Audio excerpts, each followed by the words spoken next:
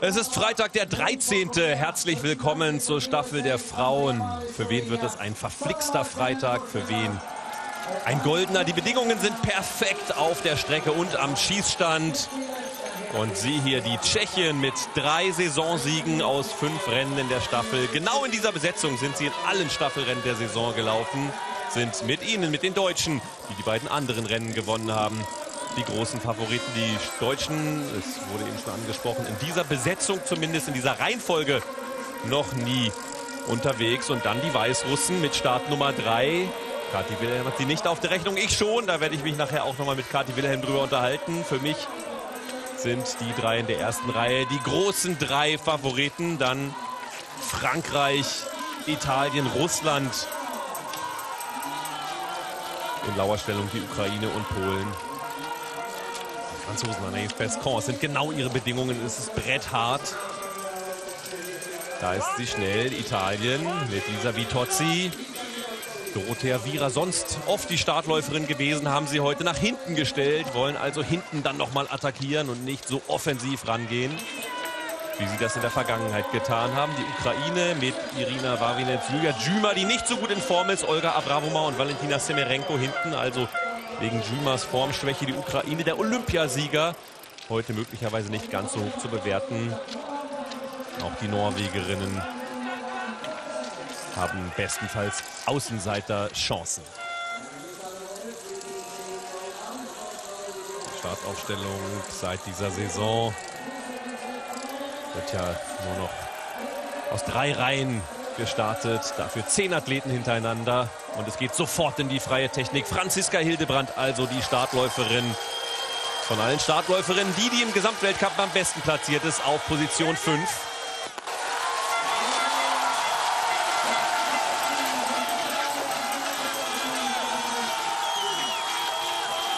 4x6 Kilometer Staffel der Frauen bei den Weltmeisterschaften in Kontiolahti. Los geht's, Nadeshda Skardino aus Weißrussland biegt als Erste um die erste Kurve. Dahinter dann direkt Franziska Hildebrand im schwarz-rot-gelben Laufanzug der Deutschen.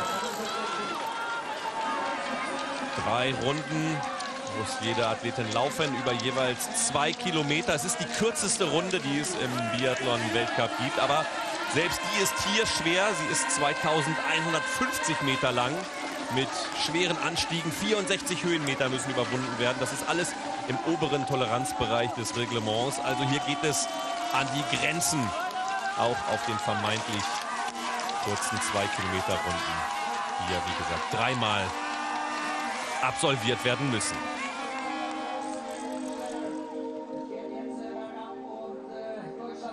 Gardino hier im Vordergrund, die weißrussische Staffel. Ja tässä näette siis miten Ranska tuolla aivan laidalta tulee vahvasti alussa. Ja tämän kierroksen pituus on siis kaksi kilometriä. Ja tulemme saamaan ilman muuta... Es hat schon eine gewisse Dynamik, wenn das da sofort in der freien Technik losgeht. So, Franziska Hildebrand in der Abfahrt geht sie sogar vorbei an Scardino. Erstes wichtiges Indiz in den Wachstruck zu den Technikern. Das deutsche Material scheint zu passen. Und die Strecke ist schnell. Das heißt natürlich auch, sie ist ein wenig weniger selektiv als bei schweren, bei langsamen Bedingungen. Da setzen sich dann die laufstarken Athleten noch mehr ab, als wenn es schnell ist. Das heißt, es wird noch mehr Fokus auf den Schießstand liegen. Ja, zwei lange Anstiege gibt es auf der Runde. Jetzt zeigt sich Kadri Lechkla aus Estland. Einige Nationen haben offensiv aufgestellt, haben ihre Besten nach vorne gestellt. Susan Dunkley für die USA mit der Nummer 21. Japan mit Fuyuka Suzuki. Das sind Nationen, die werden wir auf der ersten Runde vorne sehen, möglicherweise dann aber später vermutlich nicht mehr Dunkley jetzt dort auf Position 3, die USA, aber in der Summe nicht stark genug aufgestellt. Ganz kurz zu hören war Andi Stitzel, der deutsche Männertrainer, der wie üblich bei Frauenrennen auch mit an der Strecke Unterstützungsarbeit leistet. Zusammen mit Tobi Reiter, einem der beiden Frauentrainer. Reiter ja wie immer an der Strecke. Hier nach diesem langen Anstieg, nach der sogenannten Mauer oder Wand, The Wall. Dort links mit der roten Mütze sehen Sie Tobi Reiter. Und Gerald Hönig wie immer am Schießstand. Ganz gut so! Jawohl, ihr setzt euch schon leicht ab! Ganz stark unterwegs hier. Einmal frei. Jawohl. Sauber. Und auf geht's. Und auf. 4,3 Sekunden. Kleine Lücke sogar schon. Hildebrand und Dankli vor dem großen Rest des Feldes. 1,3 Kilometer sind absolviert. Jetzt geht es nach diesem langen Anstieg nochmal ein bisschen weiter bergauf. Dort in diesem Bereich hält sich auch Luise Kummer auf. Die fünfte im deutschen WM-Kader, die heute nicht zum Einsatz kommt. Hier, wo sich die Strecken kreuzen.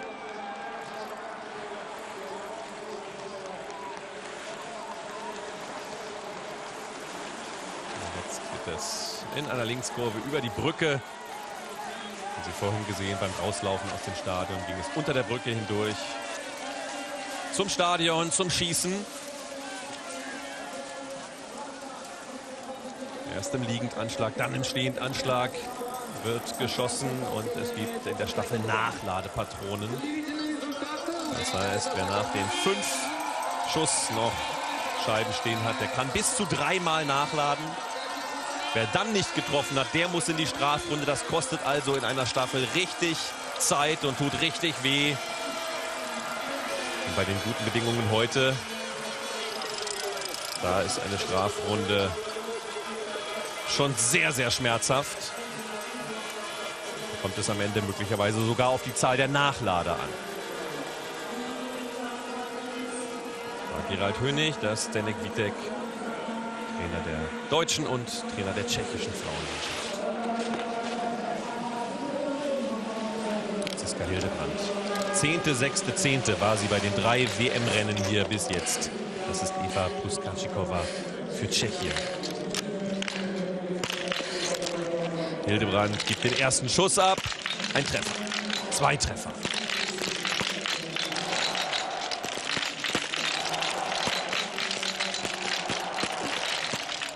Ja, fünf Treffer für Franziska Hildebrand. Also, sie geht jetzt in Führung vorn. Wer kann mitgehen? Scardino hat null geschossen, Putzkarschikova auch. Auch Vitozzi für Italien. Anaïs Bescon für Frankreich. Norwegen, Marta Olsbü, zwei Nachlader. Und jetzt Hildebrand 4,6 Sekunden vor Scardino, dann Glasrina, Puskachikov, Vitozzi, die Polin Heunisch und Suzuki, die Japanerin, auf Position 7 mit 8 Sekunden Rückstand. Also ein großes Feld dort von Nullschützinnen. Aber Franziska Hildebrand hat sich zumindest so einen Nachlader, sagen wir mal, rausgelaufen.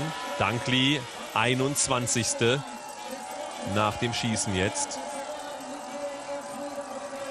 Die Amerikanerin brauchte zwei Nachlader.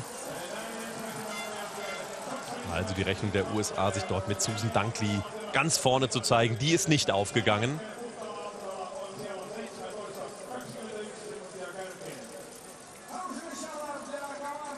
Und das die Serie von Franziska Hildebrand noch einmal. Wir haben es ja gerade gesehen, frisch eingesprüht die Scheiben. Da hat es ein bisschen Glück beim rechten, beim letzten rechts am Rand gelandet.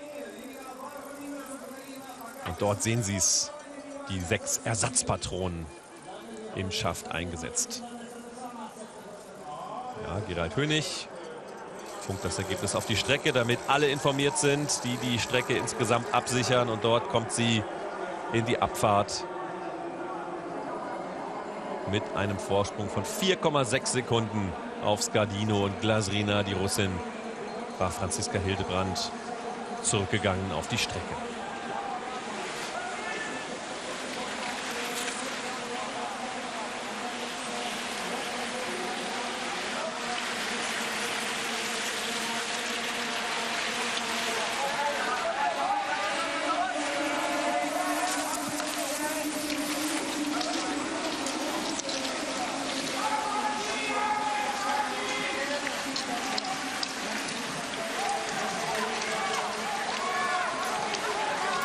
Ja, das Verfolgerfeld gemeinsam unterwegs. Das hilft ein wenig. Bescon dort hinter Scardino zum Beispiel. Da mal ein wenig zusammenarbeiten. Da hinten gab es den kleinen Strauchler. Ich glaube, das war die Japanerin Suzuki. Die war schnell wieder aufgerappelt hat. Du baust den Vorsprung aus! Du baust den Vorsprung aus! Speed halten jetzt ab! Da haben wir ja an die Stitzel einmal gesehen. Ja, 8,2 Sekunden, also 4,6 waren es nach dem Schießen. Franziska Hildebrand bestätigt ihre gute Laufform. Italienerin Vitozzi, 11, 14 Sekunden zurück. Die müssen wir im Auge behalten, die Italienerin Lisa Vitozzi. Die schwächste in diesem Quartett, aber da kommen mit Karin Oberhofer und Dorothea Vira noch zwei richtig gute. Nicole Gontier ebenfalls. Eine starke Athletin. Franziska Hildebrand macht das hier sehr gut, hat ihr ruhiges, ihr bedächtiges Schießen im Liegendanschlag durchgezogen. Jawohl, Franzi, sehr gutes Rennen! Franzi, du baust den Vorsprung aus, dein Rennen so weiterlaufen, ganz stark unterwegs, jawohl! Genau so weiterarbeiten, nur noch! Ja, Glasirina, dahinter die Russin. 12 Sekunden Suzuki jetzt vorgelaufen auf Position 2. Puskatschikova 17 Sekunden zurück. Die Tschechin. Dankli jetzt auf 12. Hat neun Plätze gut gemacht nach dem Schießen. Die Amerikanerin.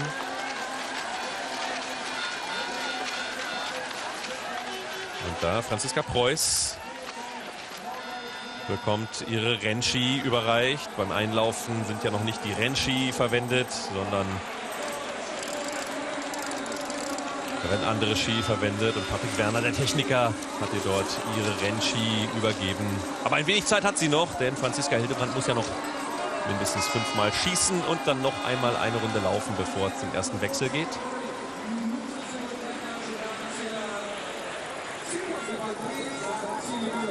So ein engagiertes, ein kontrolliertes Rennen von Franziska Hildebrand bis hierhin. Und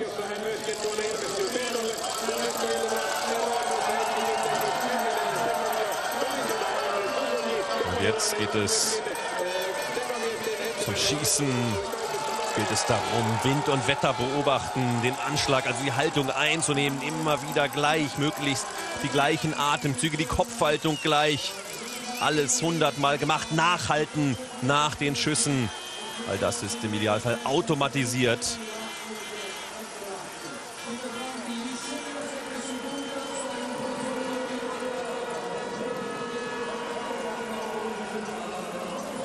Aber jetzt muss man es umsetzen.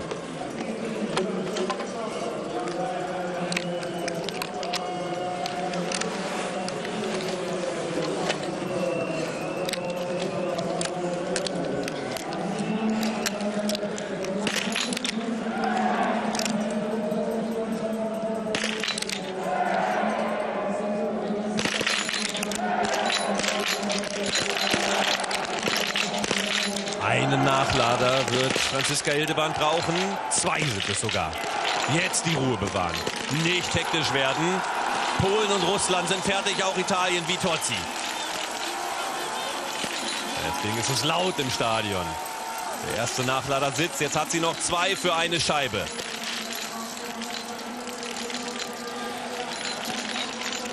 Dankli jetzt fertig und auch Franziska Hildebrand ist fertig. Jetzt ist es vorbei mit der Ruhe. Jetzt muss sie zur wilden Hildebrand werden. Heunisch jetzt vor und Glasrina, Vitozzi, Bescon, dann Rumänien, dann Marte Olsbü, Susan Dankli und dann kommt äh, Franziska Hildebrand auf Position 10, 18 Sekunden zurück.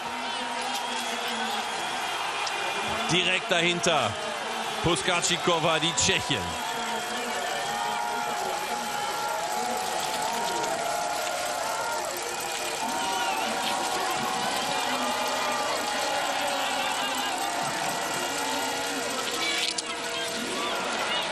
Also nach dem zweiten Schießen.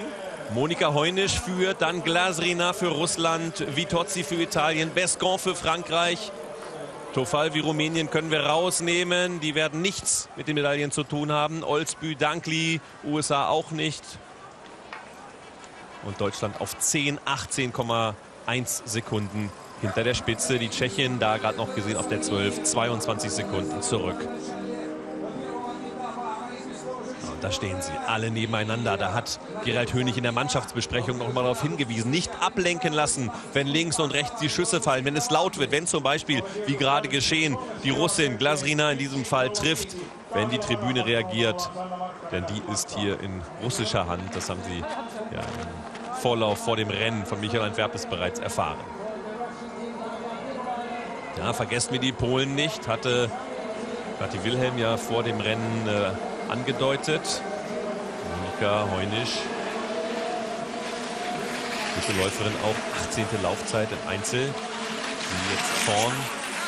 Dahinter Glasirina und die Italienerin Vitozzi. Nach dem Schießen Heunisch zwei Sekunden vor der Russin, vier Sekunden vor der Italienerin. Die Italienerin ist schon rangelaufen.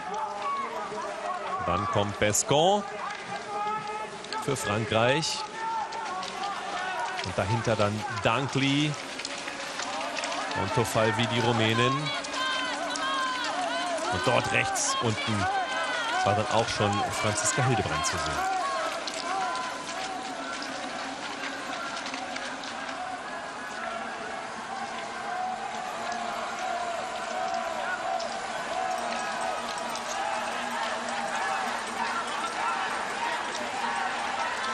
Hildebrand Neunte hat Scardino überholt, die nach dem Schießen auf Position 9 lag. Jetzt sogar noch zwei weitere, auch Lisa Holzer, Hauser und Marte Olsbü, Österreich und Norwegen hinter sich gelassen. Also sind nur noch 10 Sekunden. Diese Lücke kann sie noch zulaufen auf der zweiten Hälfte der Runde nach vorn.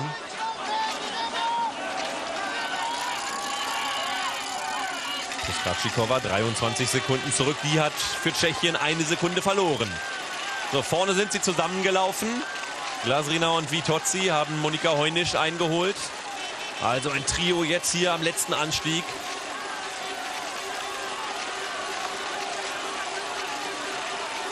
Vielleicht auch eine Schlüsselstelle auf der letzten Runde. Und da unten ist schon Franziska Hildebrand. Also das Feld noch sehr dicht zusammen.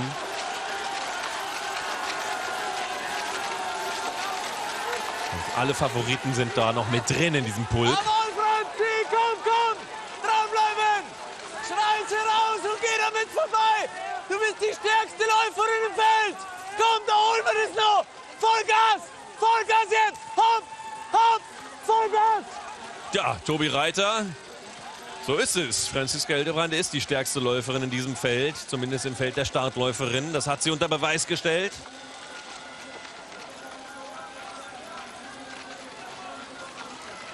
Also ein guter Auftakt und Franziska Preuß ist zurück. Hatte ja ausgesetzt das Einzelrennen vorgestern. Hat gestern gesagt, ich bin heiß, ich will wieder, ich habe richtig Bock drauf, morgen wieder einen Wettkampf zu laufen. Hat aber auch die Pause im Einzel völlig akzeptiert. Hat gesagt, das ist genau richtig. Ich habe das auch gemerkt, dass ich eine Pause brauchte. Jetzt also mit frischen Kräften sozusagen gleich Franziska Preuß hier auf Position 2.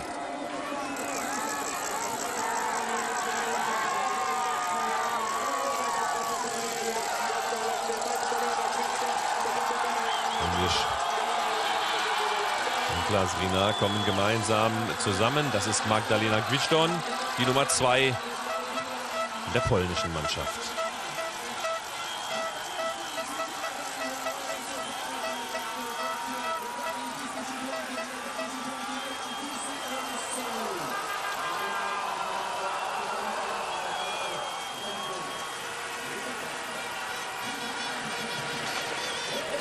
Geht es einmal durch den Schießstand und dann hinten herum. Und dort in der Bildmitte sehen Sie die Wechselzone. Dort muss es einen deutlichen Körperkontakt geben, ein Abklatschen auf die Schulter üblicherweise, damit dann der folgende Läufer ins Rennen gehen darf. Und Franziska Hildebrand als Sechste jetzt im Stadion. Also Monika Heunisch übergibt an Magdalena Gwizdon, die ebenfalls sehr gute Laufform war im Einzel. Russland jetzt mit Daria Virolainen. Italien mit Karin Oberhofer. Die Franzosen mit Enora Latoulière. Und die Deutschen mit Franziska Preuß, die in den beiden letzten Staffeln jeweils auch auf der 2 gelaufen ist in Antolz, als die Deutschen gewannen. Und in Oslo bei der letzten Staffel vor den Weltmeisterschaften, als Deutschland Vierter wurde. Tschechien wechselt mit 26 Sekunden Rückstand. Jetzt Gabriela Sukalova im Einsatz für Tschechien. Die Silbermedaillengewinnerin im Einzel von vor zwei Tagen.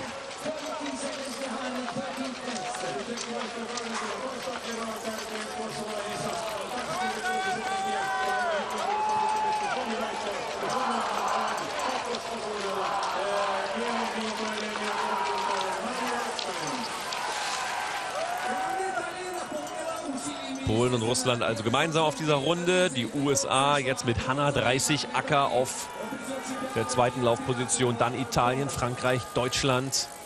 Das sind die Mannschaften, die um Medaillen kämpfen werden. Von der zweiten Seite dann vielleicht noch die Tschechien oder auf jeden Fall noch die Tschechien und vielleicht die Ukraine. Und das ist der Wechsel auf Monika Gwischdorn, die im Sprintrennen hier siebte war. Am ersten Tag. Erst am äh, letzten Samstag. Gwischdorn vorne, dahinter dann die Italienerin Karin Oberhofer, Zehnte im Gesamtweltcup. Einen Podestplatz in dieser Saison. Im Dezember in Hochfilzen war sie Zweite im Sprint. Aber sehr konstant, oft in den Top Ten. Hier bei den Weltmeisterschaften noch nicht so gut. Aber die Italiener sind exzellente Schützinnen. Ja, Karin Oberhofer.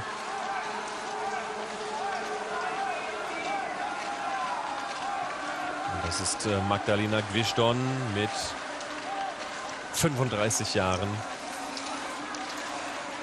Eine der ältesten im Feld. Die älteste ist Andrea Mali, Startläuferin der Slowenen, die ihr Rennen bereits beendet hat.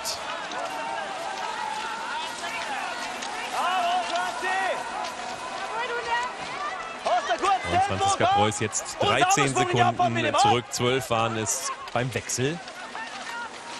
Also in der Spitze wird gut gemetert, aber Franziska Preuß ist zwar noch jung, ist ja vorgestern erst 21 geworden, aber dennoch erfahren genug, dass sie weiß, sich hier nicht in der ersten Runde schon verleiten zu lassen zum Angriff.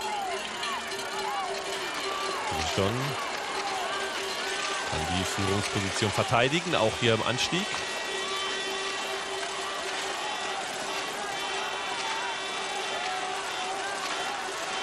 Links Oberhofer, rechts unten die Russin Viroleinen, die ja zeitgleich fast mit der Polin hatte, gewechselt hatte.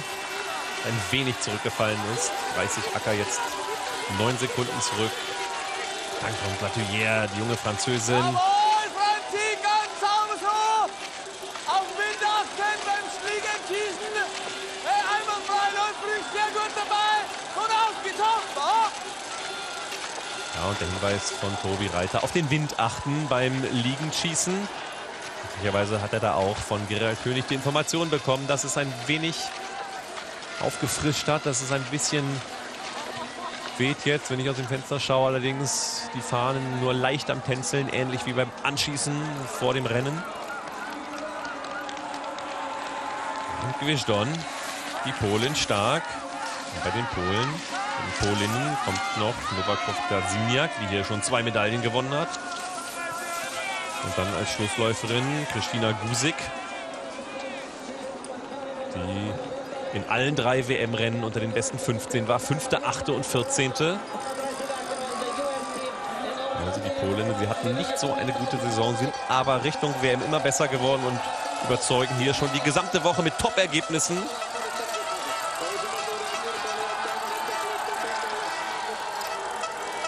Folgerichtig sind jetzt hier aktuell in Führung. Raufer zum Schießen, wieder ein bisschen reingelaufen, rangelaufen.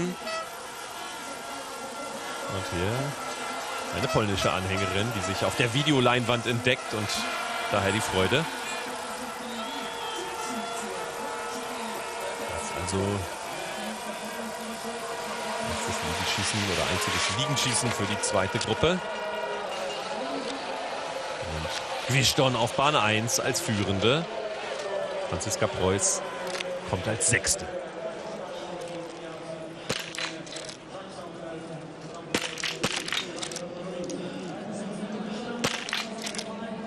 Oberhofer trifft viermal Gwischdon. Zwei Fehler. Bei Oberhofer geht der letzte daneben. Virolainen für Russland geht in Führung. Gwischdon drei Fehler. Und Franziska Preuß muss einmal nachladen. Also Italien geht raus und Polen muss in die Strafrunde. Franziska Preuß, der Nachlader, sitzt. Also Virolainen vorn, dahinter Italien. Und Polen geht in die Strafrunde mindestens einmal. Deutschland, Frankreich fertig, auch Weißrussland, die Ukraine und Kanada. Rumänien hält sich nach wie vor dort vorne. Dann Zukalova, also Tschechien jetzt vor Deutschland. Österreich und Weißrussland auf der 7. Frankreich direkt dahinter auf der 8. Und das war Synnöve Solendal, die mit drei Nachladern für Norwegen durchgekommen ist. Franziska Preuß 17 Sekunden zurück. Einen Nachlader hat sie gebraucht.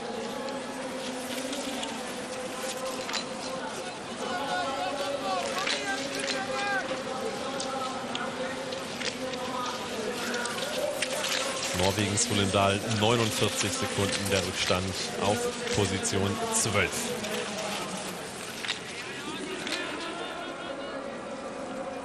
Also die Russinnen jetzt zusammen mit Italien vorne und Tschechien durch Sukalovas Schießen auf vier, gemeinsam mit Franziska Preuß. Sukalova jetzt unterwegs. Pisareva für Weißrussland auf der sieben. Und das ist Daria Virolainen. 15. im Gesamtweltcup. Zweitbeste Russin. Und das der Blick noch einmal auf Franziska Preuß. Ja, die Russinnen haben hinten mit Ekaterina Jurlova noch die Einzelweltmeisterin von vorgestern und Ekaterina Schumilova, die am Wochenende ja schon Vierte wurde in der Verfolgung. Virolainen verliert jetzt auf der Strecke wieder etwas, wie schon auf der Runde zuvor.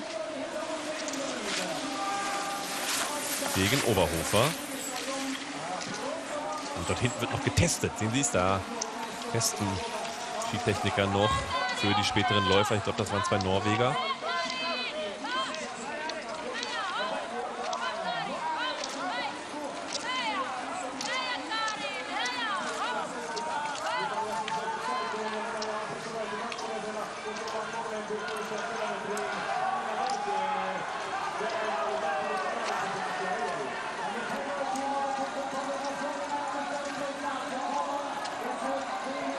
dahinter Zukalova. Jetzt schon vorbei an der Rumänin auf drei und direkt dahinter Franziska Preuß auf Position 4.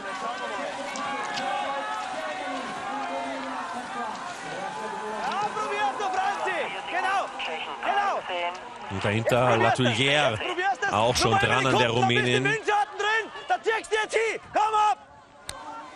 Genau, hol dir den Windschatten von Gabriela Sukalova. Dieser war 23 Sekunden ihr Rückstand. Sie hat ein wenig verloren auf die Spitze. Bei Franziska Preuß waren es 17, sind jetzt 15. Und Vanessa Hinz, die dritte deutsche Läuferin, ist im Aufwärmbereich angekommen.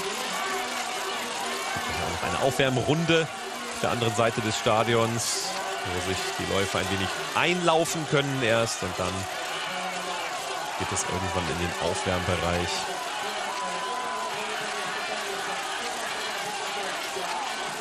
Zur wirklich letzten Phase, bevor es ernst wird.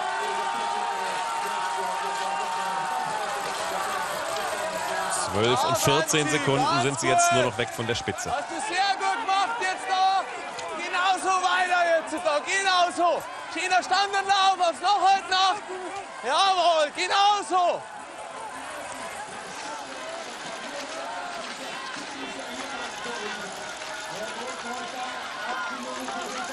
Sache war 24, Juma 32 äh, zurück.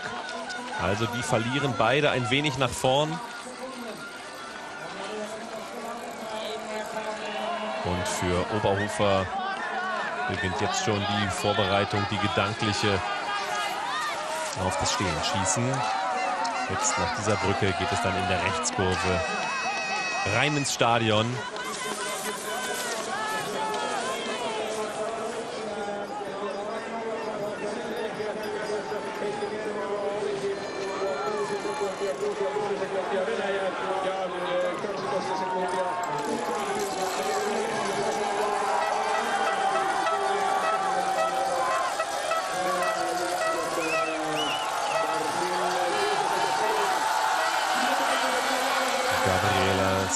Sukalova. Zwei Medaillen hat sie hier schon gewonnen. Die Silbermedaille im Einzel und die Goldmedaille mit der Mixstaffel am Eröffnungstag der Weltmeisterschaften vergangene Woche Donnerstag. Oberhofer, die hat die Bronzemedaille mit der Mixstaffel gewonnen bei den Olympischen Spielen in Sochi. Also sie ist erfahren im Umgang mit Großereignissen, mit Wettkampfsituationen. Und dort Franzi Preuß auf Bahn 4. Fehler Oberhofer. Zwei Fehler.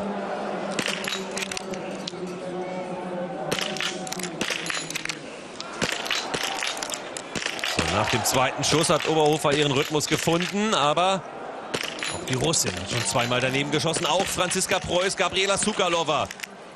Schon vier Treffer. Italien droht die Strafrunde. Sukalova geht in Führung. Ein Nachlader für Preuß. Und auch Virolainen droht die Strafrunde. Zweiter Nachlader Franziska Preuß. Oberhofer kommt mit drei Nachladern davon. Franziska Preuß mit zwei Nachladern. Was ist mit Virolainen? Die kämpft um den letzten Schuss gegen die Strafrunde. Muss Russland jetzt in die Strafrunde? Weißrussland geht auf jeden Fall in die Strafrunde, Russland nicht. Also Tschechien jetzt sieben Sekunden vor Italien, dann 14 Sekunden Preuß. Dann Pischkoran, die Rumänin, dann die Österreicherin Stoch und dann Latoyer, die Französin, Virolainen, die Russin hat viel Zeit verloren am Schießstand. Jüma 27 Sekunden zurück für die Ukraine. Und Weißrussland ist in der Strafrunde. Nadjesja Pisareva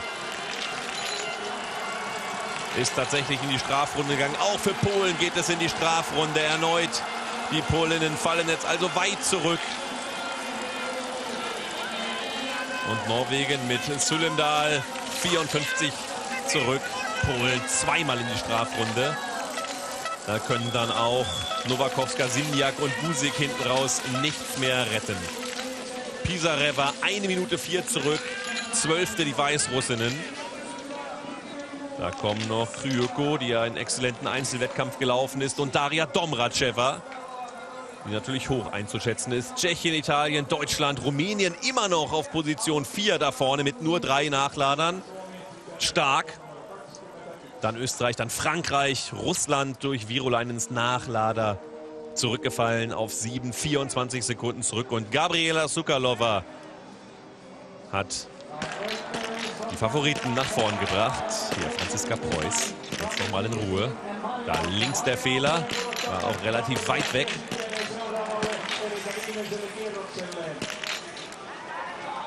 Das Nachladen.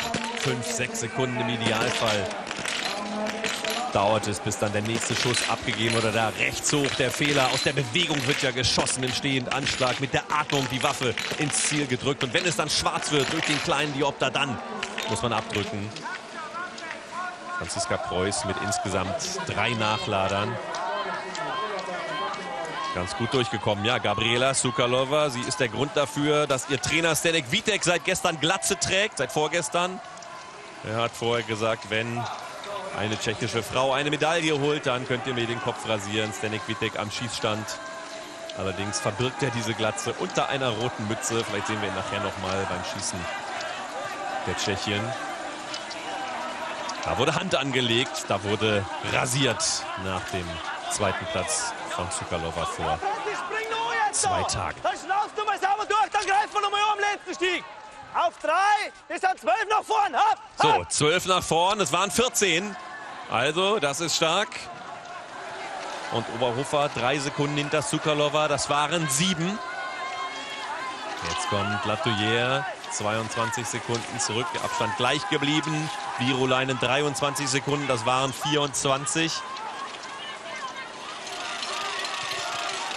Und Gabriela Sukalova, das Glamour Girl des tschechischen Biathlons. Zwei Medaillen hat sie, wie gesagt, hier schon gewonnen. Zwei bei den Olympischen Spielen in Sochi vor einem Jahr. Silber mit der Mixstaffel, Silber im Massenstart.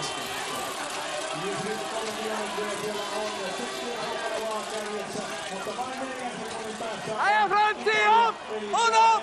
Komm, komm. Jetzt nochmal mobilisieren, oben raus. Jawohl. Jetzt sind es nur noch elf. Du hast schon gut gemacht. Jede Sekunde falten. Mobilisieren jetzt. Auf geht's. Groß und drauf. Groß und drauf. Vollgas. Ja, am liebsten würde er mitlaufen da, der Tobi Reiter. Ist schon stark, was die Trainer auch auf der Strecke dort anbieten, wie sie mitfiebern, wie sie mitarbeiten, wie sie den Sportlerinnen helfen. Franziska Preuß, vor zwei Tagen 21 geworden. Was sie denn geschenkt bekommen habe, wurde sie gefragt. Ja, hauptsächlich Süßigkeiten, sagte sie dann. Sie weiß auch gar nicht, warum sie so als Naschkatze gilt. Ich habe mich aber trotzdem darüber gefreut und vielleicht hatte ihr der Zucker, den sie dann da aufgenommen hat, jetzt noch ein bisschen mehr Power verliehen, noch ein bisschen mehr Schmackes, um da diese Lücke zuzulaufen. Das war Nicole Gontier im Vordergrund, die Italienerin. Und Oberhofer mit einer überragenden Runde vorbeigegangen an Zuckerlova. Also Italien jetzt ganz vorn. Zuckerlova wirkte ein bisschen ausgepowert. Jetzt Jitka Landova auf der 3, der tschechische Schwachpunkt. Und Vanessa Hinz für Deutschland auf Position 3.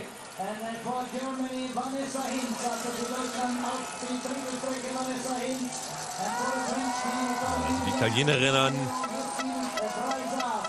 machen das herausragend bis jetzt. Und da kommt ja die beste Dorothea Viera noch auf der Schlussposition. Die hatten ihre vermeintlich schwächste. Ist ja auch immer eine Frage, was die Papierform und was die Rennform hergibt. Lisa Vitozzi bereits auf der 1. Kurzer Strauchler von Franziska Preuß. Vor der letzten Kurve, vor diesem Rechtsbogen. Italien also. Oberhofer auf Gontier. Wechselt zur Rennhälfte in Führung liegend. Zwei Sekunden dahinter Gabriela Sukalova auf Jitka Landova und dann Franziska Preuß auf Vanessa Hinz. 9,3 Sekunden sind es nur noch. Und Franziska Hildebrand ist beim Interview. Jessie Wellmer, bitte. Ja, die, die Startläuferin ist bei mir, Franziska Hildebrand. Äh, sehr schnelles, sehr kontrolliertes Rennen. Abgesehen von diesen beiden Nachladern beim äh, zweiten Schießen. Was war es da? Ein bisschen Ablenkung? Ähm, nee, es waren einfach, ähm, ja, es waren zwei Fehler. Zum Glück auch dann jeweils gleich mit einem Nachlader ähm, getroffen und das hat mich dann schon wieder ganz fröhlich gestimmt. Würden Sie sich dann jetzt doch überreden lassen, die Startposition zu Ihrer Lieblingsposition zu erklären? Es gab ja so viel Gerede darum, Sie waren nicht so begeistert. Jetzt vielleicht in Zukunft doch? Ja, also es ging ja auch gut los. Also mit dem Linksschießen war ich voll zufrieden mit ähm, keinem Nachlader da und läuferisch habe ich mich auch ganz gut gefühlt. Dann natürlich beim Stehenschießen gleich wieder zwei Scheiben stehen zu lassen. Ähm, hm. Ist halt immer so ärgerlich. Eigentlich hätte ja eine auch gereicht, weil dann kommt man direkt unter Zugzwang, dass man jetzt doch mit jedem äh, Nachlader möglichst treffen muss. Und das ist mir dann zum Glück auch gelungen, aber hm, naja, eine hätte eben auch gereicht. Vielen Dank. Dankeschön. Tja, und dann haben sie es gesehen, möglicherweise noch missgeschickt beim Wechsel. Irina Kriöko hat gedacht, auf ihrer rechten Seite wird sie abgeklatscht. Dann kam Pisareva von der anderen Seite. Und dann treten sie sich gegenseitig auf den Skisturz. Ganz schlechter Auftakt Ja, und jetzt weiß sie gar nicht, haben wir uns eigentlich schon berührt oder nicht? Ja, ja, wir haben wohl schon. Dann läuft sie los. Also ganz schlechter Wechsel. Es wird auch immer wieder gefragt, wird das trainiert, diese Wechsel? Es wird im Prinzip ehrlich gesagt nicht trainiert, sondern da verlässt man sich einfach drauf, dass das funktioniert. Kommt auch selten vor, aber es kommt eben auch immer mal wieder vor. Jetzt schauen wir also Italien knapp vor den Tschechien. Deutschland auf drei, Frankreich auf vier. Grafik ist zu schnell für mich. Russland auf fünf. Rumänien immer noch auf sechs, dann auf der sieben die Ukraine. Ja, und von den Favoriten die Weißrussen auf Position 12, 1, 11 zurück. Und die Polinnen mit schon drei Strafrunden abgeschlagen auf der 21, 2 Minuten 16. Jetzt schon der Rückstand. Da ziehst du jetzt erstmal sauber hin. Es sind noch zwei, drei Sekunden, siehst du sie. Komm, orientiere dich nur nach vorn, druck nur sauber drauf. Schwungmillimeter, dann bist du fast du dran.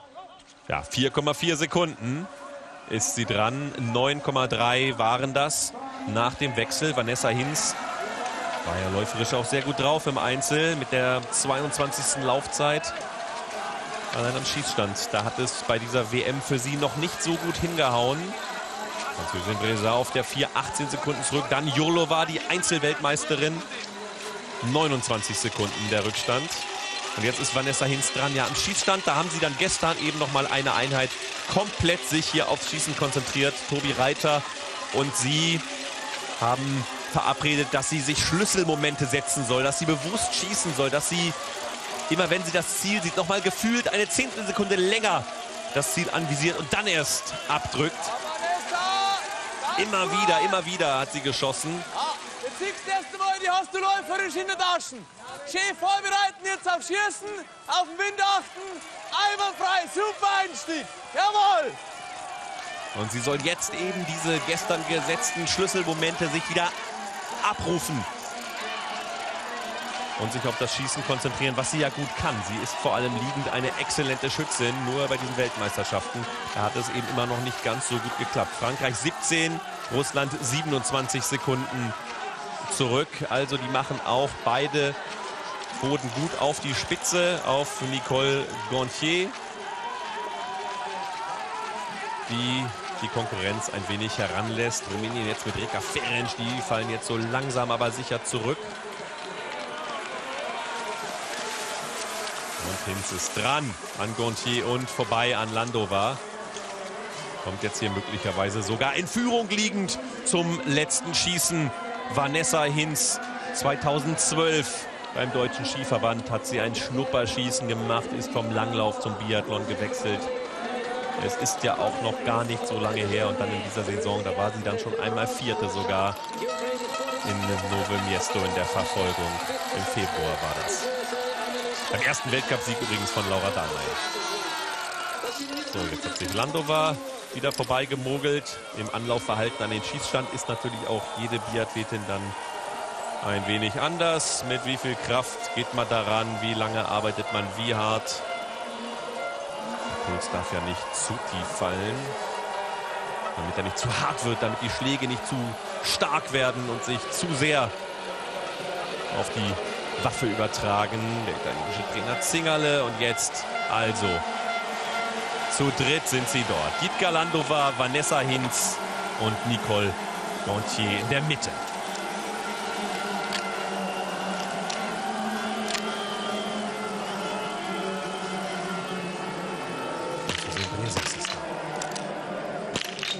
Treffer Hinz. Fehler Gontier. Na, wenn das kein Schlüsselmoment war, bitte, bitte, das lohnt sich doch. Das ist doch dann hervorragend, wenn es sich so auszahlt, wenn man eine Trainingseinheit komplett aufs Schießen ausrichtet und dann wird Null geschossen. Italien und Tschechien jeweils mit zwei Nachladern schon.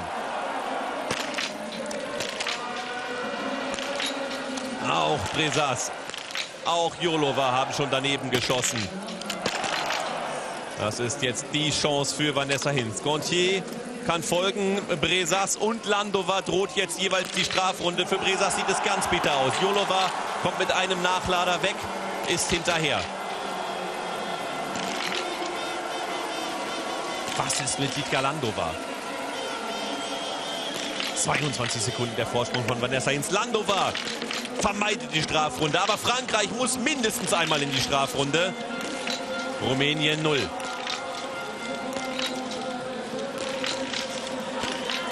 ...33 Sekunden der Rückstand von Jolova, 40 der von Abramova, 43 der von Landova. Eine Strafrunde für Frankreich, 150 Extrameter, gut 20 Sekunden dauert das.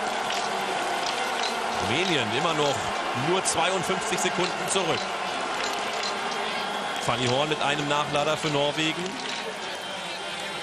Und Kryuko, die Weißrussin, jetzt ohne Nachlader nach dem Sturz beim Wechsel. Aber dennoch natürlich schon abgeschlagen. Norwegen, Fanny Horn auf der 7. Norwegische Schlussläuferin Tiril Eckhoff. Dann die Franzosen auf der 8. 1,18 zurück mit einer Strafrunde jetzt. Aber Vanessa Hinz, was für ein tolles Schießen war das für sie.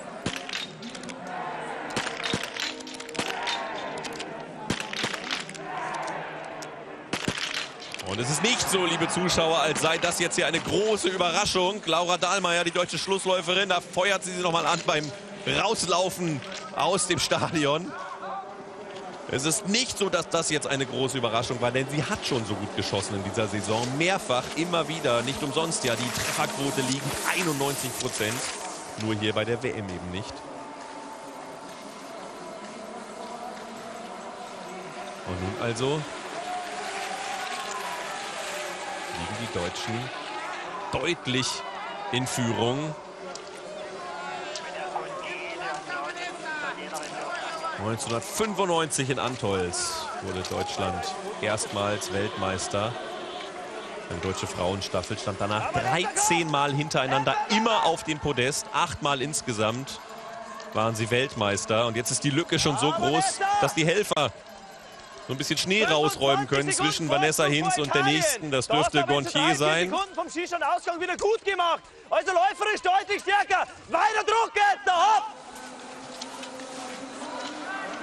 Und dann aber bei den letzten beiden Großereignissen, da lief es nicht so gut. In Novo Miesto wurden sie Fünfte, in Sochi sogar nur Elfte vor einem Jahr bei Olympia. Das waren die Umbruchjahre. 25 Sekunden der Abstand, drei Sekunden hat Vanessa Hinz gut gemacht auf die Italienerin. Wie gesagt, es waren die Umbruchjahre. Und der Umbruch, er läuft auch noch, er dauert noch an. Vanessa Hinz ist 22. 21 ist Franziska Preuß seit zwei Tagen. 21 ist Laura Dahlmeier. Einzig Franziska Hildebrand ist zumindest ein wenig älter, aber auch erst 27. Das ist ein Alter, in dem viele andere Gut, Vanessa. Hat jetzt 25 Sekunden. Ganz normal, unaufgeregt dein Rennen weitermachen. Hey, jawohl, genau, und auf geht's. Und hopp. Hey, hopp. 27, wie gesagt, ist ein Alter, in dem viele andere gerade erst durchstarten, ihre ersten Erfolge feiern.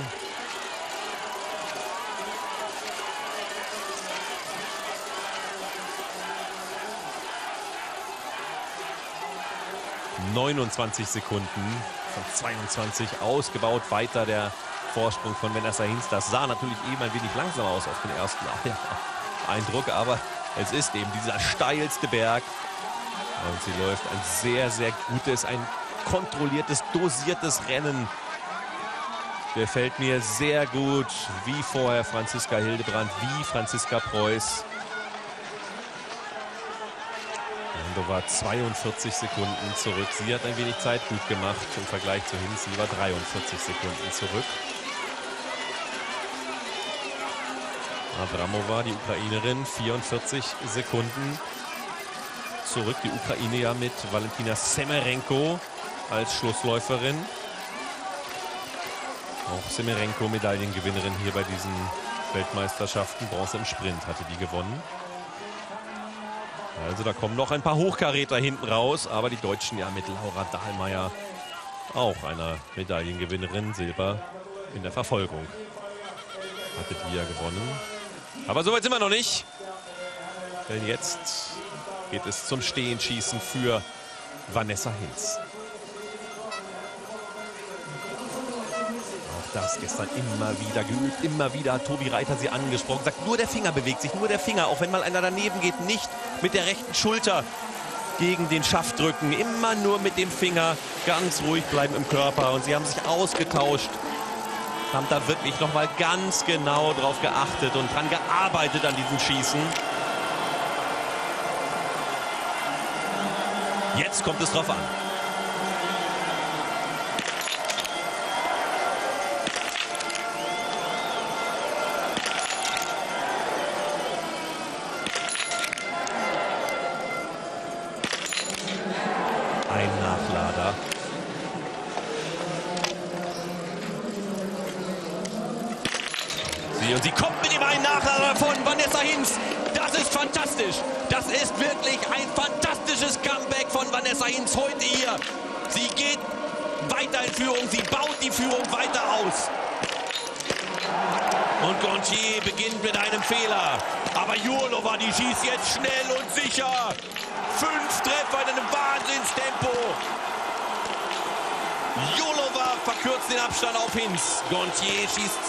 Daneben. Braucht zwei Nachlader. Was ist mit Titka Landova? Auch Kryuko jetzt zwei Nachlader. Natürlich nicht Kryuko, sondern Abramova, die Ukrainerin. Und Landova steht immer noch da. 20 Sekunden der Abstand zwischen Deutschland und Russland. Und jetzt Landova die Strafrunde droht. Sie hat noch zwei Schuss für zwei Scheiben. Ja, da ist die Strafrunde für Tschechien. Italien 37 Sekunden zurück auf der 3. Und auch die Ukraine geht in die Strafrunde. Also Deutschland, Russland, Italien. Ein Trio hat sich abgesetzt, hat sich Luft gemacht. Vanessa Hinz. Da rechts knapp der Fehler. Da hat sie auch noch Pech gehabt. Und Sie sehen es, nur der Finger bewegt sich, nur der Finger bewegt sich, wie es Tobi Reite gestern gebetsmühlenartig eingetrichtert hat. Jetzt ganz schnell, ganz cool, nachgeladen. Einatmen, ausatmen, anhalten, rein das Ding ins Schwarze. Also, das ist die Reaktion von Franziska Preuß und jetzt ist sie zum Interview. Ja, Franziska Preuß, erstmal herzlichen Glückwunsch nachträglich zum Geburtstag. Sie sind 21 geworden. Was sagen Sie denn zu Ihrem Nachgeburtstagsrennen? Ähm, ja, ich bin eigentlich schon sehr zufrieden mit dem Rennen halt. Ich war froh, dass ich nicht als Erste dann losgelaufen bin. So findet man erst mal schön ins Rennen rein, kann erst mal dahinter bleiben. Und ja, am Schießstand mit drei Nachlader, sind zwar drei Nachlader, ich glaube, für Staffel ist es schon in Ordnung. Und ja, ich war echt voll nervös vor dem heutigen Rennen und ja, ich bin jetzt schon sehr zufrieden mit dem. Sie haben eine super Laufzeit, zweitbeste Laufzeit. Ähm, hat die Pause da doch gut getan, die Pause im Einzelrennen? Ähm, ja, ich glaube, das war jetzt schon wichtig. Und ja, ich habe mich halt auf der Strecke gleich gut gefühlt, schon als ich losgelaufen bin. Und auch die Leute war wieder super präpariert halt. Und ja, das macht dann Spaß, wenn man einfach merkt, man kann auf der Strecke was gut machen. Und ja. Vielen Dank, viel Erfolg heute. So, jetzt sind wir gespannt auf der Schlussrunde. Wie viel Pfeffer hat Vanessa Hinz noch drin? Schalt um von der Frequenz! Schalt um jetzt! Nur noch mal schneller hin und her! Schnell hin und her! Vorsprung ausgebaut! Genau so! Komm jetzt! Andi Stitzel, es ist immer wieder eine Freude. Der hat auf jeden Fall immer genug Pfeffer drin. 20 Sekunden war der Abstand zwischen Vanessa Hinz und Ekaterina Jolova nach dem sechsten Schießen. Und Sie sehen es unten, die 20 Sekunden sind schon durch. Sie baut den Vorsprung der deutschen Mannschaft weiter aus. Fast 25 Sekunden sind es jetzt. Und dahinter Gontier für Italien. Noch einmal diesen Berg hinauf. Das letzte Mal, Vanessa.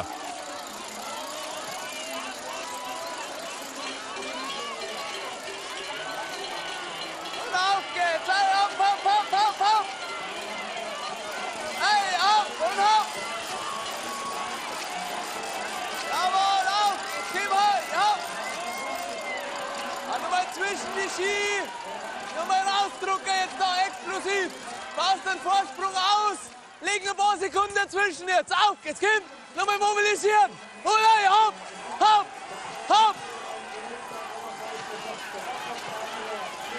Und da haben wir Laura Dahlmeier. die sich vorbereitet auf ihren Einsatz als Schlussläuferin. Zum vierten Mal hintereinander als Schlussläuferin einer deutschen Staffel. In Antolz im Januar, da hat sie auf der 4 die deutsche Staffel als erste ins Ziel gebracht. Jolova 24 Sekunden, jetzt bleibt der Abstand gleich. Also im ersten Teil der Runde, da konnte Vanessa Hinz ein paar Sekunden abknöpfen. Und hier 49 Sekunden zurück, die verliert weiter. 37 waren das nach dem Schießen, 44 an der ersten, 49 an der zweiten Zwischenzeit. Frankreich und Norwegen.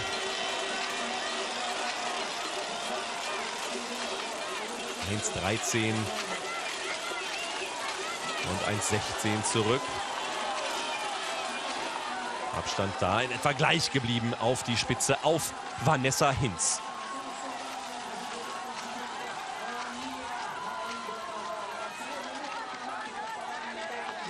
So, da sehen Sie es, der Abstand nach vorn. Dort steht die Schweizerin Lena Hecki noch im Stehendanschlag, wird jetzt überrundet. Jetzt das letzte Mal vorbei am Schießstand, der heute wieder ihr Freund geworden ist, mit dem sie sich versöhnt hat. Und dort Laura Dahlmeier dahinter, rechts Dorothea Wierer, die Italienerin. Und für Russland Ekaterina Schumilova. Das sind gleich die ersten drei.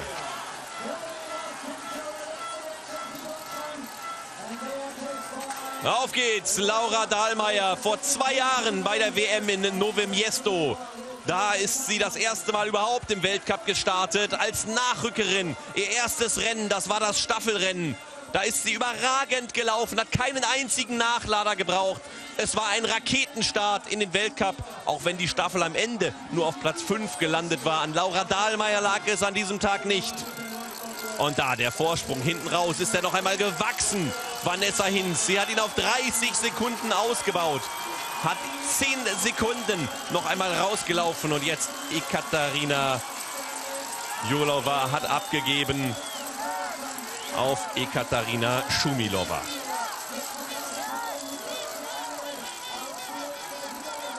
Vanessa Hinz vom Schliersee in Ruppolding lebend und trainierend erste WM-Teilnahme.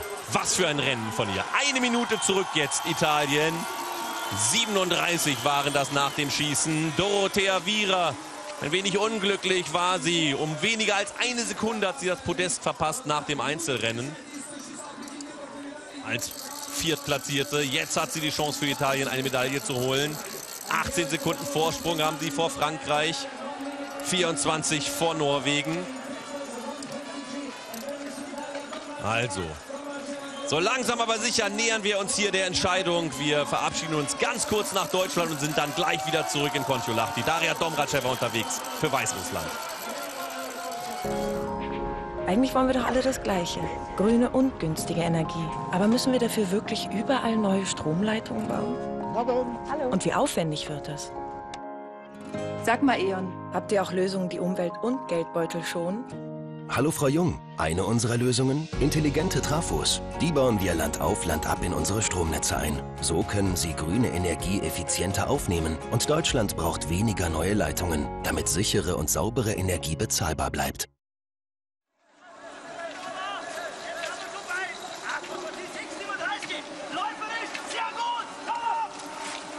Tja, zurück in Kontiolahti, läuferisch sehr gut. Das war die Ansage an Laura Dahlmeier vom Trainer von Andreas Stitzel. Laura Dahlmeier mit der zweitbesten Laufzeit hat sie das Einzel beendet vor zwei Tagen als Sechste. In den letzten sieben Rennen bei der Weltmeisterschaft und davor im Weltcup immer unter den Top Ten. Sie ist in der besten Form ihrer noch so jungen Karriere. Und das ist die Russin Schumilova, die im Einzel geschont wurde. Sechste und vierte war am Wochenende im Sprint und Verfolgung. der Verfolgung ja auf der Schlussrunde sogar auf Platz 3 liegend hinausging und dann stürzte. Bis bei 40, finde ich unverändert vom Anschießen, kurz drauf schauen, einwandfrei, so kurz und laut, hopp und hopp. Und Schumilova hat jetzt schon 10 Sekunden auf Laura Dahlmeier verloren. Also berühmt wird Laura Dahlmeier heute auf jeden Fall.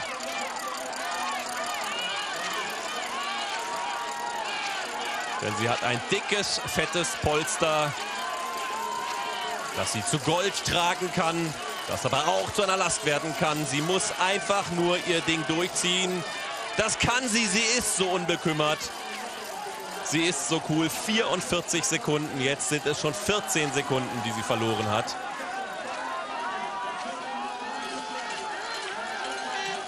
Und dort unten Vira und dahinter Marie-Dorin Aber, die Schlussläuferin der Franzosen. Zweimal Gold hat die ja gewonnen am Wochenende in Sprint und Verfolgung im Einzel dann auch ausgesetzt, so wie Schumilova, die Russin.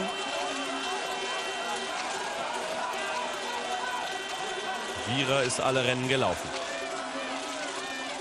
Diese Kummer sehen wir in der orangenen DSV-Jacke dort am Rand. Ich glaube mit Andi Stitzel dahinter. Die ziehen sich dann immer so ein bisschen in den Schatten zurück. Und wenn die Läufer kommen, dann zieht es Andi Stitzel auch wieder runter an die Strecke. Verfolgen dort auf Großbildleinwänden im Wald das Renngeschehen.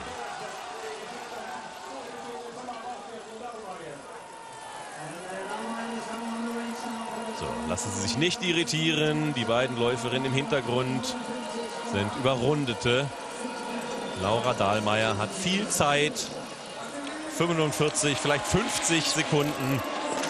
Da sollte sie eigentlich schon wieder weg sein, bevor Ekaterina Schumilova überhaupt an den Schießstand kommt.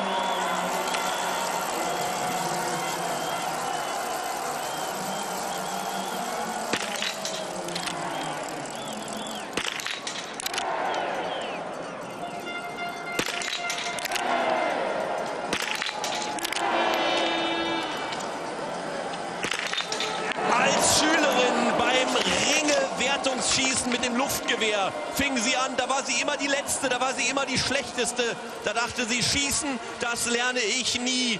Und dann, als die Umstellung kam zum Kleinkaliber im Juniorenbereich, da ging es dann fast wie von selbst. Die ist die sicherste Schützin in der deutschen Mannschaft.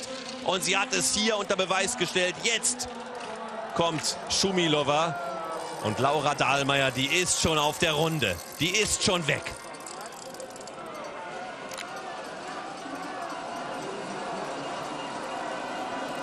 Reagiert. Die Opta reagiert. Hat Druck. Ben Vira und Dore Aber sind da. Und dahin Daria Domracheva und Tiril Eckhoff. Schumilova muss einmal nachladen. Und unten läuft die Uhr für Laura Dahlmeier. 41, 42 Sekunden. Tick-Tack. Vira hat schon dreimal geschossen, schießt immer super schnell. Geht jetzt gemeinsam mit Schumilova auf die Runde. Dorin Aber muss mindestens einmal nachladen. Domracheva zweimal nachladen. Jetzt Dorin Aber. Domracheva ist da. Über eine Minute jetzt der Vorsprung von Laura Dahlmeier vor dem letzten Schießen. 1-0-3, 1-0-4 geht Russland und Italien raus. Und alle, wie sie da liegen, müssen nachladen. Domracheva zweimal. Dorin Aber nach zwei Nachladern zurück auf der Strecke.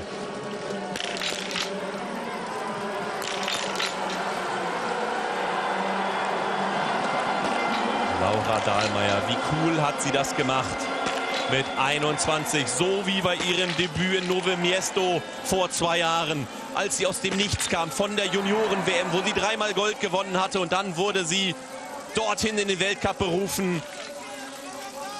Und Vanessa Hinz ist sicherlich entsprechend zufrieden beim Interview bei Jessie Wellmer. Ja, sie haben für einen unheimlich wichtigen Moment gesorgt. Super Rennen nach dem ersten Schießen. Fehlerfrei sind sie als Erste rausgegangen. Was, was ging da in Ihnen ab in diesem Moment? Ich muss mir vorstellen, das muss mindestens ein leises Juchzen gewesen sein. Ja, ich war sehr froh, dass ich mit 0,5 und einem richtig guten Gefühl vom Schießstand weggegangen bin, gerade wo es in den letzten Tagen für mich nicht so gelaufen ist. Und ich habe schon der, am Anfang gemerkt, hey, die anderen sind gar nicht so schnell. Ich konnte gut ranlaufen und bin dann eher ein bisschen dosiert gelaufen, so an Schießstand ran und das hat mir voll gut taugt. Und Dann haben aber schon die Knie gezittert vom Stehenschießen. Wann würden Sie dann sagen, das ist jetzt eine gute WM für mich gewesen? Ist es das jetzt schon oder muss die Laura das jetzt doch noch schnell nach Hause laufen? Ja, toll, ist eine Medaille, glaube ich, dann wäre ich schon super happy. Und ich bin, aber für mich ist es jetzt schon eine persönliche WM oder ein schöner Abschluss, weil ich einfach am Schluss noch einen guten Wettkampf gezeigt habe, wo es davor nicht so lief. Und auch gerade im Team ist es schön, wenn man dann seine tolle Leistung bringen kann. Vielen Dank. Das hier sind die beiden Verfolgerinnen von Laura Dahlmeier, Vira und Schumilova. Aber der Abstand zwischen Schumilova und Vira nach vorn ist über eine Minute. Nach hinten auf Marie-Dorin-Abert haben sie nur 26 Sekunden. Zumindest nach dem Schießen gehabt. Also ob die jetzt wirklich noch auf Gold schielen oder ob es für die beiden darum geht, überhaupt eine Medaille abzusichern.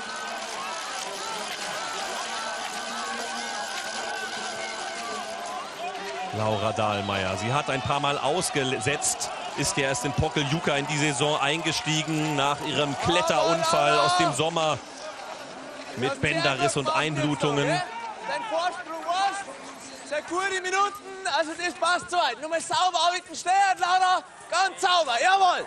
Und auf geht's, hey, hopp. Wie gesagt, er ist später in die Saison eingestiegen, dann hat sie noch einmal in Oberhof ausgelassen, sagt, das tut mir gut, das hat mir gut getan, ein paar weniger Rennen.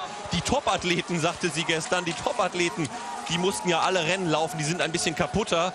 Das, auch das ist ein tolles Indiz dafür, wie sie sich selbst wahrnimmt, wie bescheiden sie ist, denn sie ist ja eine Topathletin, sie hat hier schon eine Medaille gewonnen, sie ist Achte im Gesamtweltcup, spricht aber von den anderen noch voller Hochachtung von Topathleten. 1,29 Dorin Aber zurück. Also Abstand ungefähr gleich geblieben, war 1,30. Die anderen haben 6, 7 Sekunden verloren. Schumilova und Vira.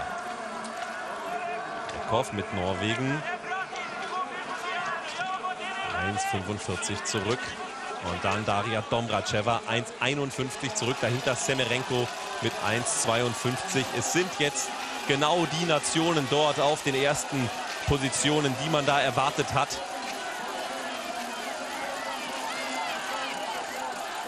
Und die Deutschen sind deutlich, deutlich vorn. 1,13 vorn.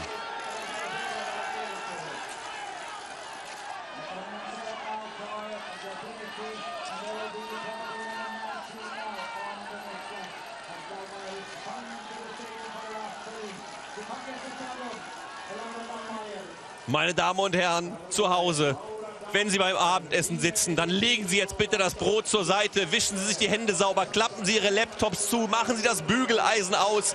Bitte begeben Sie sich vor den Fernseher und seien Sie bereit, seien Sie bereit zum Jubel. Denn jetzt hat Laura Dahlmeier nur noch fünf Schuss ins Ziel zu bringen auf dem Weg zum neunten Staffelgold für eine deutsche Frauenstaffel.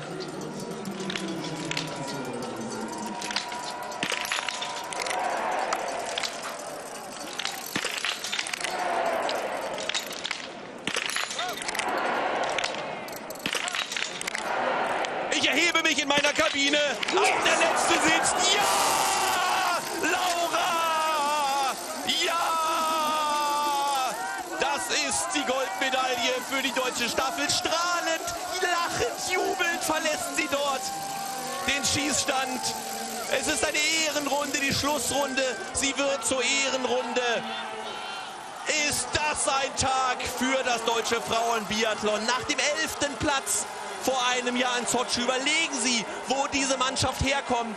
Triumphieren Sie jetzt in unglaublicher Manier in diesem Staffelrennen. Und es war kein Windrennen, es war kein Rennen auf schlechtem Geläuf. Sie waren heute mannschaftlich einfach sowas von herausragend.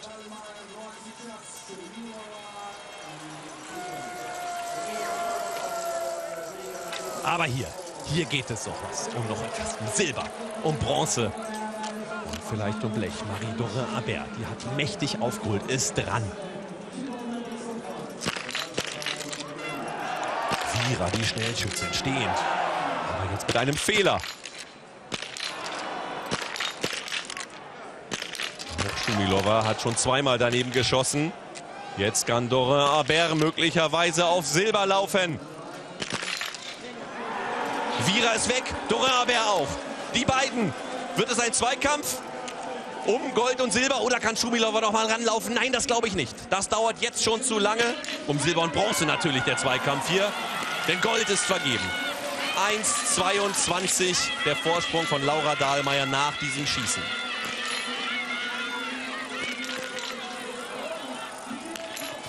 Eckhoff bleibt fehlerfrei. Domracheva muss nachladen. Schumilova ist 10 Sekunden hinter Frankreich und Italien.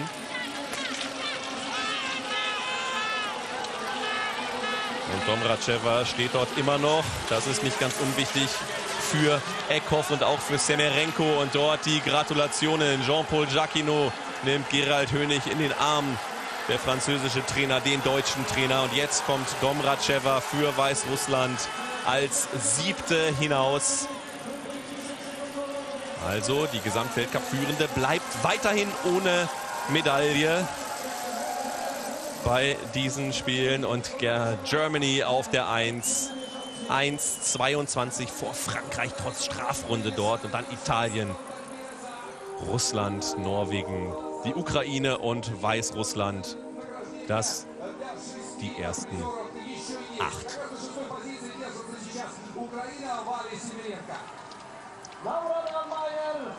So, kniet er nieder an die Stitzel. Eigentlich muss er doch niederknien. Jawohl, sehr schön, jawohl! Juhu! Und man sieht weiterhin, wie sie lachend dort hineinläuft. Laura, frei übersetzt heißt das, die, die den Lorbeerkranz trägt. Und genau den setzt sie sich heute auf, gemeinsam mit Vanessa Hinz, mit Franziska Hildebrand und Franziska Preuß. Und hier Dorin Aber und Vira. Aber er setzt sich da jetzt in der Abfahrt ein wenig ab von der Italienerin. Aber die hat natürlich am Anstieg noch mal die Chance zu kontern.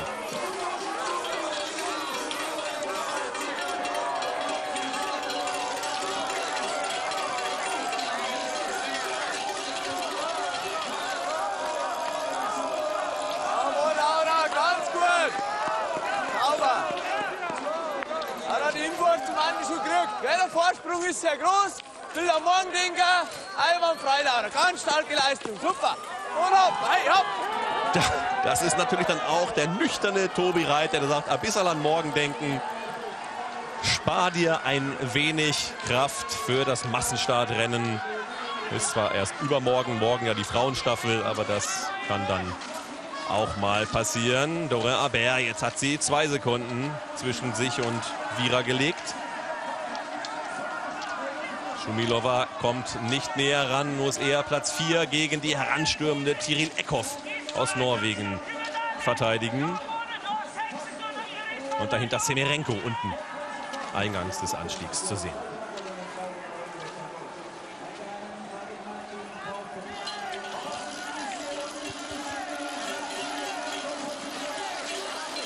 Letzter Anstieg für Dorin Aber und Vira. Und Vira kommt offensichtlich nicht mehr ran. Dorin Aber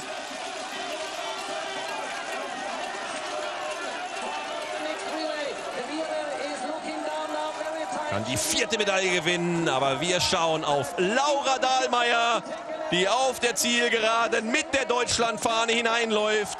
Deutschland gewinnt zum neunten Mal Staffelgold bei einer Weltmeisterschaft. Die Talsohle der letzten beiden Großveranstaltungen, sie ist durchschritten. Der 13., Freitag der 13. wurde zum Glückstag für die deutschen Damen. Herzlichen Glückwunsch, Franziska Hildebrand, Franziska Preuß, Vanessa Hinz und Laura Dahlmeier.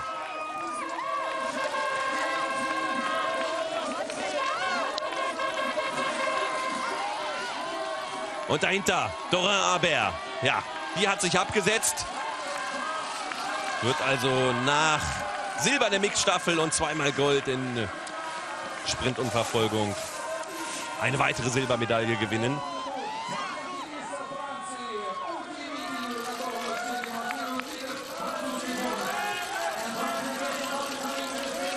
Aber das ist erst einmal der Jubel der Siegerinnen. Und jetzt kommen die Französinnen. Trotz Strafrunde holen sie hier die Silbermedaille.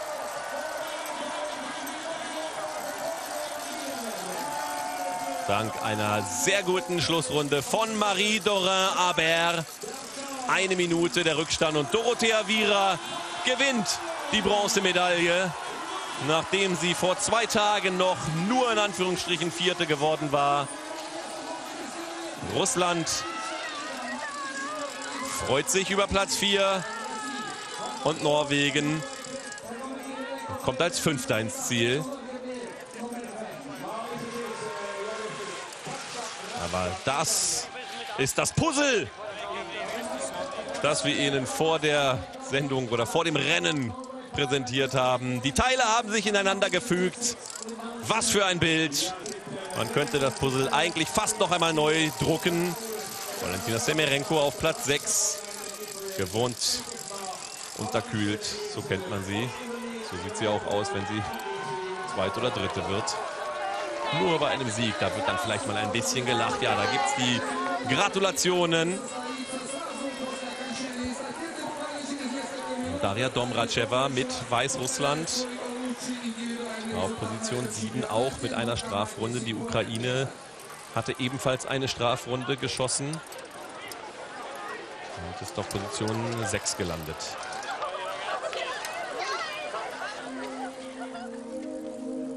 Laura Dahlmeier also, wie in Antolz im Januar beim Weltcup, mit der Fahne ins Ziel als Erste. Eine Verbeugung als Dank ans Publikum, das hier zwar überwiegend russisch geprägt war, aber dennoch den deutschen Sieg ganz fair bejubelt hat.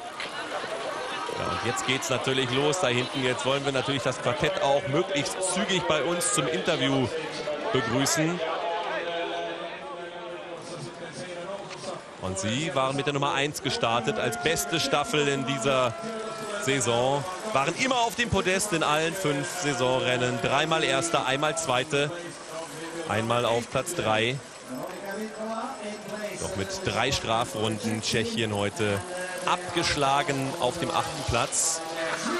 Große Enttäuschung natürlich. Und jetzt sind sie auf dem Weg in unser kleines Studio, unsere kleine Plattform, wo Kati Wilhelm und Micheland Werpes bereits warten. Drei von vier sind schon da. Laura Dahlmeier, die zieht sich zumindest noch mal ein warmes Jäckchen übrig. Ja, da wird jetzt natürlich geredet und gequatscht. Kanada auf der 10, Österreich auf der 11, die USA auf Platz 12. Und die Polinnen nur 13. die ja hier auch so ein bisschen ein Kandidat waren. Also Laura Dahlmeier macht sich auf den Weg, hat die Jacke an. Aber die anderen drei, die klettern jetzt dort hinten gerade die Treppe hoch. Deswegen gebe ich ab und wir wollen hören. Zumindest drei von vieren. Herzlichen Glückwunsch also der deutschen Staffel zum Weltmeistertitel.